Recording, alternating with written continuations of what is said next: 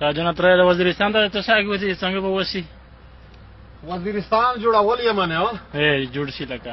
په جوړول کې ته ډېر ډېر واجه کېدای شي لکه څنګه اے سلوا جی دي ته د ډنګولې او څلویر پنځه واجه په نن سبا وخت کې د جوړولو پوتی دی خو یو غاټه واجه د دادو چې دغه واجه دای نشي کم یا بدای چا چې دا دوله ته یوځي جړه ګونرو ګاډ دی دا چې کیما د چې دا غتانګ جمعو غوندي چې دا په لکه مسوک کا څوکړن کای نیوی تبلیغونه ولا شه دا کپړو غوندي دا خلکو ګاډ دا ور کړه دمو وزیرستان چې څمره بربود شو څمره تبا شو څمره ذلیل شو غر کیږي دا کیما خلک له سره ذلیل دا چې زه ته یو ډایلاګ څنګه لګا دا دا داس نمونه خلک نه دي دا جوړګون چې برت کړي کال کو د پن ولا جمعو غوندي دا تانګ بډی شهباز ګاډي دي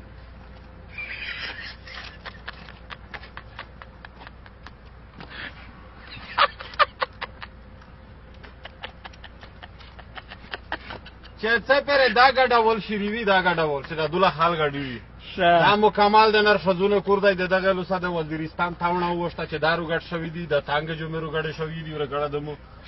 دا هیڅ وخت نه نه دغه شپږو وکولا سی ورګړه دمو دا نه مخبل کړی دی خدا دا شای لاستوی نه دی دا د بربودی سبب دی د وطن دا په غونډه کې غټه خبره دا نه ده دولت نه دی اکثر د مو دا خلته غټ پیغام دی چې خدای ته وخت دی دغه نه مان شي چې په نوم سړای دی ورکړه د مو په باندې کې په پارک کې اتاړ لکه څنګه اتاړ کې اتاړ